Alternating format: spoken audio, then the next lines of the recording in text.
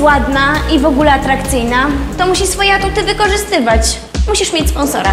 Po telefonie to już można rozpoznać człowieka. Patrz na buty i na zegarek. Jak fanty są na poziomie, to później jakoś pójdzie. Tylko generalnie nie mów, że jesteś dziewicą, bo się może trochę przestraszyć. Faceci tacy są. Ten potem blask w tej epoce tych, co obrastają złotem Chyba ważny jest dla dziwek, co w nogach mają proce Zresztą sam ocen, jak widzisz Pokaż, co ci kupił. Przecież masz już taką. A ty jaki masz telefon? Pokaż. Możesz, kurwa, bo nie wierzę. Czegoś takiego jak żyję na oczy nie widziałam. Kupił mi pan telefon?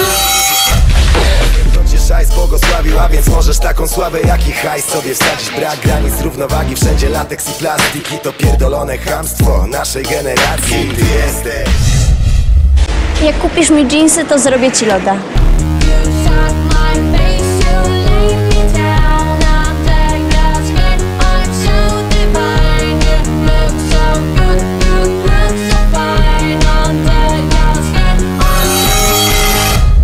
Ale gdzie? W domu czy w aucie?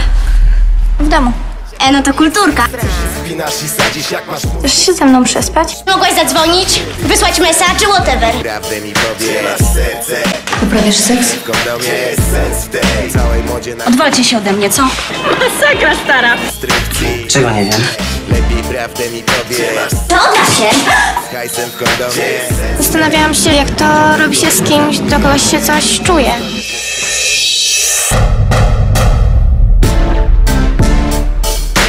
Miłość w naszych czasach nie istnieje, trzeba robić melanż i się nie przyzwyczajać, nie?